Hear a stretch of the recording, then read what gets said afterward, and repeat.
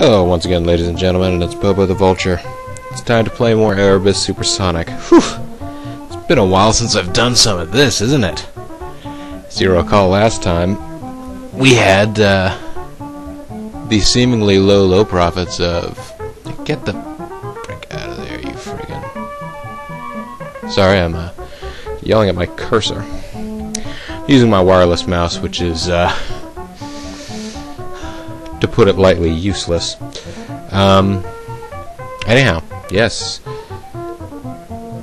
Last time we you uh, you joined us, I had a little sliver of uh, nine thousand of, of nine million one hundred thousand uh, profit, and I thought that was just peachy keen. It'd uh, be even better if we had a higher level of profit than uh, than Siberia, but you know, what you gonna do? There's only so much you can do. You can check out the regional rankings. We're number three in Europe, the only place where we have interregional flights. But, you know, who the hell cares, right? That's right. Look at this. We have uh, not enough money to do anything right now. It's gonna be like another several years before we have enough money to buy an airplane other than a uh, an A320, which we don't really have purpose of right now. Yeah, I know. Our home base, it's it's in the Middle East. Yeah, that's right. We got two new slots in LA though, which we can't actually do very much with because if we look here at our plane holdings, we are using all of our planes all three of our A320s shown there, and uh, all five of our A310s shown here. Let's see what good use we're putting those A310s to, actually. By going to London. Right now, for purposes of our business, we don't need to go to any place other than London to see all of our flights, because pretty much, even though we're an airline based in Tehran, and you can't see what I'm doing right now, but I'm making quotation marks with my fingers. Which, for all you folks at home know, that might mean I'm taking a pen and drawing quotation marks. But anyway, they all, all of our flights, despite our airline being based in Tehran, all of them fly out of London. Go figure. Ooh, that London to Tokyo flight is nice and full. I like it. That flight from London to Athens is nice and full. I like it too.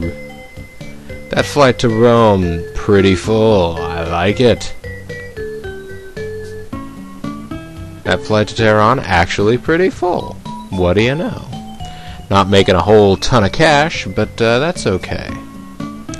The flight to LA, a little less full than some of the other ones, but uh, let's take a look at why. Let's look at the competition. They have dropped their... Look, it's just obscene, obscene the amount of money they can make, though. Hmm. We need just a couple more flights a week, folks. Just like maybe one more plane on that route maybe two. Of course, in order to do that, we will have to wait a long, long time because those planes cost what, forty-two thousand or forty-two million, I should say. Mm. Oh no, that cost thirty-eight. Well, actually, we actually might be able to do that if we have a particularly good if we have a particularly good quarter or two, we might actually be able to buy another plane before the end of the year. Ha ha! That is slow progress, folks.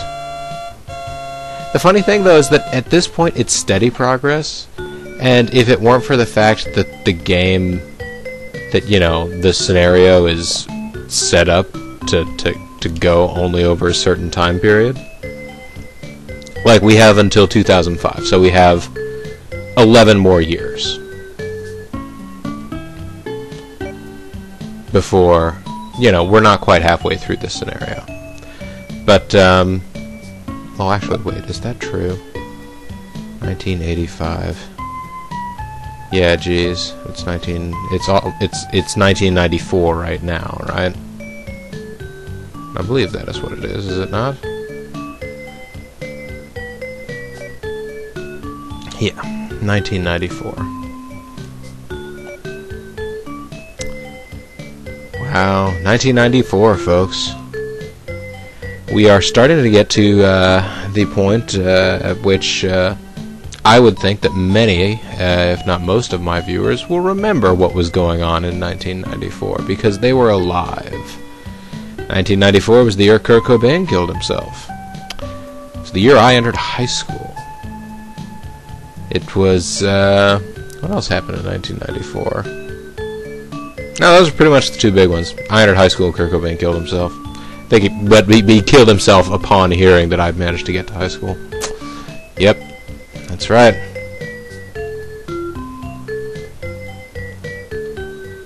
You know, it's interesting. I, uh, maybe it's just the radio stations I listen to. Maybe it's just the way radio play works anymore. Don't have like a fancy pants uh, satellite radio or anything. It seems like more and more people I know have those in their cars now. I don't. Um, but uh, yeah, just the regular radio stations around where I live. Um, I seem to fairly often hear the Nirvana cover of Man Who Sold the World, but not the. Wow, I'm still kind of behind on interregional flights. But, um, you know, like, honestly, if all you ever listened to was the radio around here, you would be under the impression that he wrote the song, which apparently is something that people will go up to David Bowie and say, like, oh, it's great to hear that you're playing this, uh, you know, Nirvana song. That's really cool of you.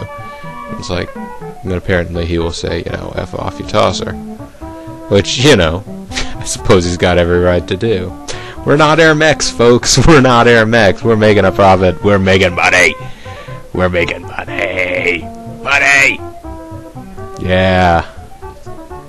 Oh, well. We're about as profitable as we can be. I mean, you know, just due to general market fluctuations, we are going to miss. You know, we're not going to break 10 million. Or, yeah, what is it? Yeah, 10 million every year we might just get to 8 million thereabouts. Our home base is located in the Middle East. We don't have any flights there. We should open some routes. You know, maybe you're right, Cookie. Oh wait, we got 42 now. Was I saying that was enough? I don't know. I can't remember whether I was saying that was enough. It is enough, though. We can totally get this plane now. Yeah. This is Airbus's medium-range aircraft. Operating expenses are easy to keep low. I can order a maximum of that. That will cost that. Alright. Tempting, but, you know, we just... These are actually uh, a little cheaper to run. Seating capacity is not the same, but, uh, you know. We're not filling up any of our flights as it is, so why would we be worried about seating capacity? That's just foolish, right? foolish. Alright. I feel bad for my poor team. My poor team's just sitting around. I mean, these guys aren't getting to develop personalities like, uh, like uh, Deep Fat Friar Tuck or uh, Snidely Whiplash or British Lenin got to. You know? I mean, Smoothie McSmootherson and Junior, they're sort of holdovers from the last run through the game. I mean, Johnny Hardlife, I, I based his entire character around the fact that uh, I think Grimmeth got him as a as an agent and said, "Wow, you look like you've had a hard life." Shall I conduct the meeting? Go ahead and conduct the meeting. Kakarine. Let's discuss opening new routes. About a route between Tokyo and Osaka? Um, or between Los Angeles and New York would be good. I, I guess she's a cyborg. I didn't realize. I was trying to give her as plain a voice as possible since she didn't have a personality yet. But okay. She's small wonder. yeah, we'll go with that. Let's also open a route between Tehran and Tokyo. You want to establish service between London and South America? Maybe Mexico City? Yeah, because uh, Air Mex is doing so well out of there, Junior. Duh. He's just homesick, you know. It's his first long trip away from home.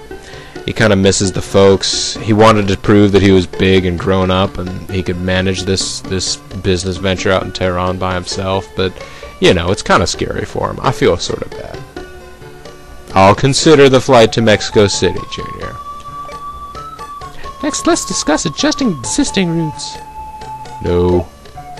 So let's discuss our plane holdings. Yes. I'll wait for a that are currently in service. Uh, We should buy more A310s. I think we need more. Well, I'm gonna guess I said A320s, but you just flipped right past. Whatever. I don't even care anymore. I'm used to this sort of treatment out of folks. Holding planes in reserve makes it easier to open more routes or increase the number of flights. Very good. Did you read that out of the textbook? yes. That's okay. Textbook knowledge is still good knowledge. Next, let's discuss business ventures. Sure, why not? Our company currently does not have any business ventures. Meeting's adjourned. Good discussion about business ventures. Of course, they always do that. I can't exactly be surprised that it happens every time. It happens all the time. How many flights do I have going? Oh, two. Hmm, Alright. With 70% full, you know, I could almost stand to open more open more routes there. Maybe I'm starting to talk crazy talk though.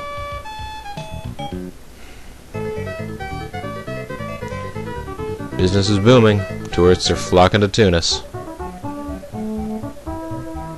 Wow, Metlink's got a lot of interregional passengers.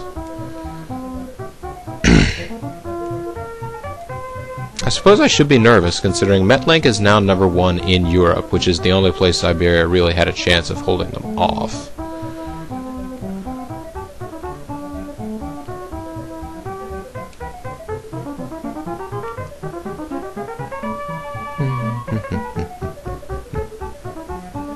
Yeah, I probably should be nervous. Basically, folks, the fact that I'm starting to generate money is leading me to believe... Oh, Norway has joined the European community. Oh, they did? Okay. Yep, our home base is located in the Middle East. We don't have any flights there. You are right, miss. And we have an A320, that is also correct.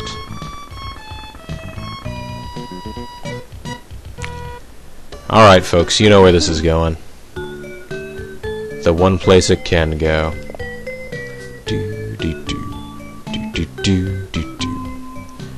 Alright, 12590. Wow. Okay. What did they do? Yep, they dropped the flights. You know what?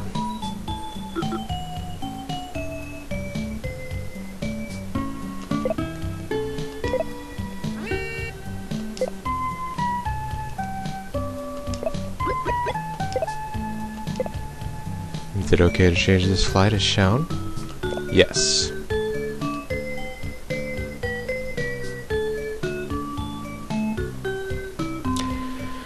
Of course, if we have to, what we can eventually do is cancel that route, close down the operation in LA, or start a hub in Tokyo and start flying into LA from that direction. It's a lot of startup costs involved in that, though, folks. Yeah. Oh, well. Let me look at this one more time, see uh, how much have I cut into their profits. Not enough. But some, you will see. I think they've trimmed back I mean, you folks can go back and check the video later, but I think they trimmed back the number of flights they're actually offering in order to retain profitability. But I'm not sure. You can't quote me on that.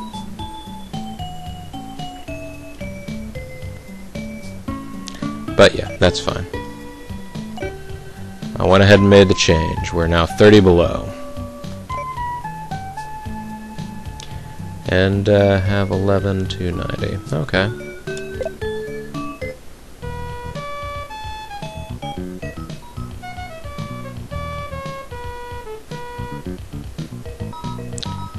Metlink is going into Africa, making their hub Tunis, which immediately becomes the hotspot for tourists. Oh, Metlink. No, but basically what I'm thinking happens in this scenario now. I was thinking that now that I'm turning a profit, basically we might just get to the point where I've managed to grow the airline enough to where it's viable and can stand on its own, but the scenario runs out of time. If Metlink has already gained number one in Europe from Siberia, it's really only a matter of time before they decide to go and take over Southeast Asia. Oh wow, look at that profit. I could buy another A310. Just, well, not quite, but still. Stunning.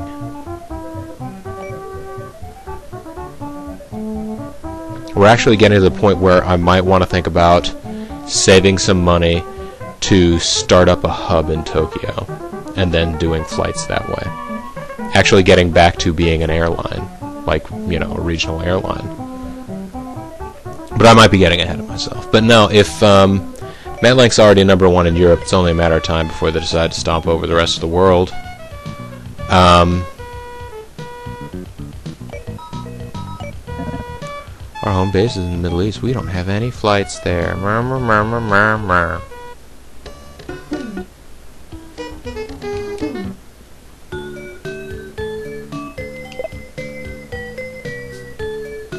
Wow, the flight from London to Tokyo is not uh, filling up as much as it used to.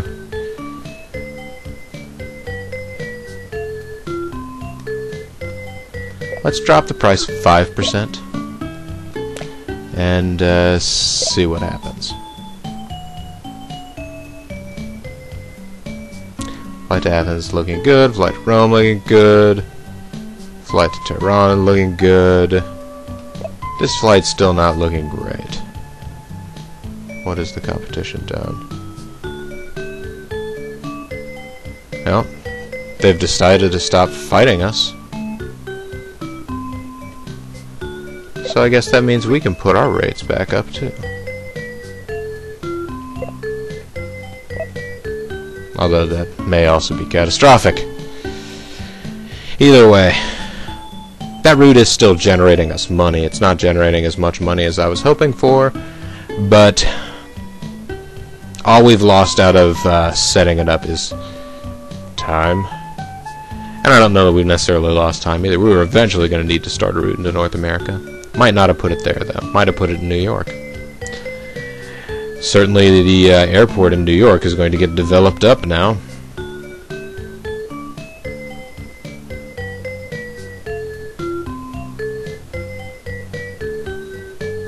I actually have an interesting concern. Well, maybe it's not interesting. I think it's fascinating. Alright. Well, what if we go over here and hop over to uh, Southeast Asia for a moment? Now we take this. Tokyo. Would you know my name if I saw you in heaven? Dang! 6,750. I figured it was going to be too far, but I wanted to see whether or not we could use A310s to get to New York from Tokyo.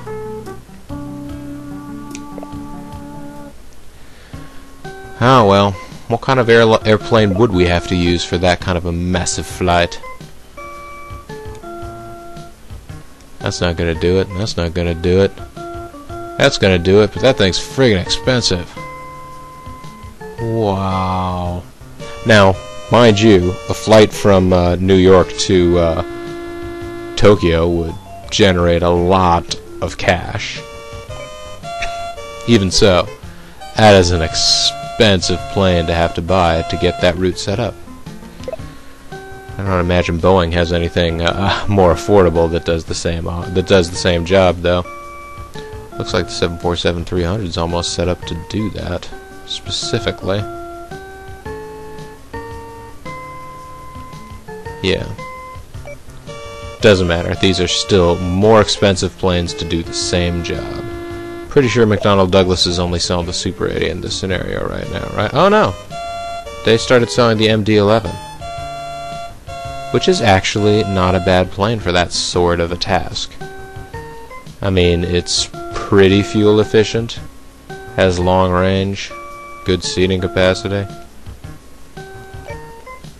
Basically, apparently at this point, the highest praise that you can give uh, you can give an airplane is it's kind of like an Airbus, unless it's an Airbus. Aha, well. Wow. That's a terrible airplane, and I'm sure it would be very non-profitable for that sort of an endeavor, but uh, you could use that plane on the route.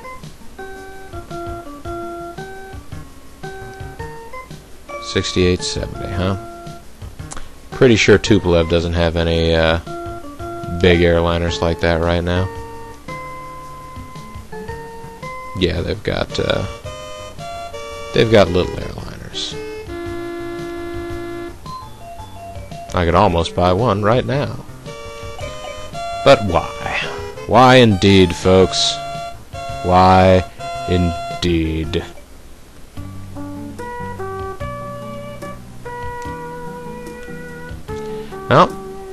We pretty much bought one airplane and uh, changed the uh,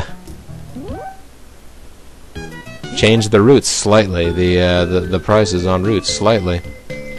That's pretty much been our year in a nutshell. Now then, let me look at the route to Tokyo. Okay, I have five flights on it. It's still pretty profitable. Tell you what. Let us look at... I will bid for slots. Please allow me to do this task. Let's go to Southeast. Oh, we already have two there. Whoops, one too far. There we go. Um, go to London.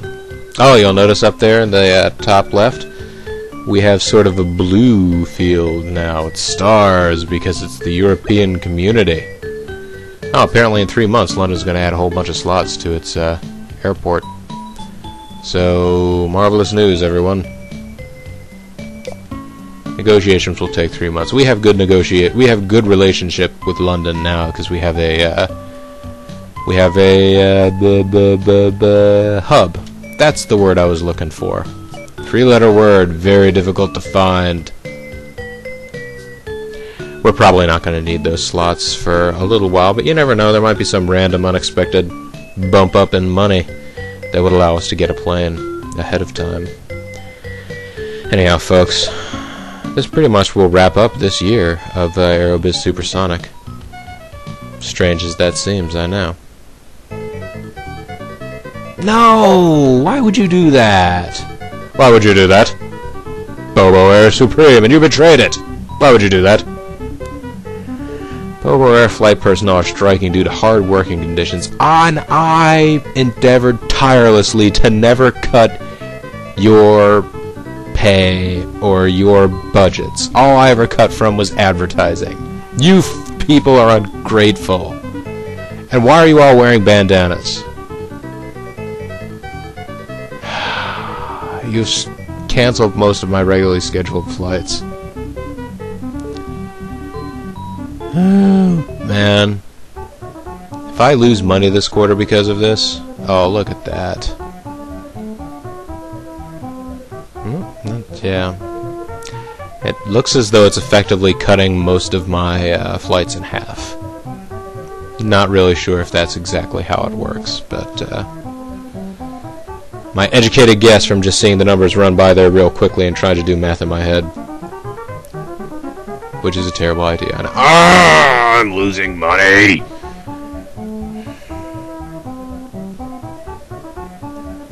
And suddenly I hate organized labor. oh no, come on. Boo, boo, boo. Bobo, boo, boo. I say, boo, boo, bo, bo. Nope, still carried more passengers than Air uh, Max. Lost more money though. Well, on that sour note, I guess uh, gonna call it a wrap on this particular edition of uh, Let's Play Aerobiz Supersonic. This is Bobo the Vulture inviting you to come back next time when, uh, hopefully, uh, hopefully labor won't be trying to squeeze blood from a turnip. You lousy workers. I thank you very much for watching, folks. Bye now.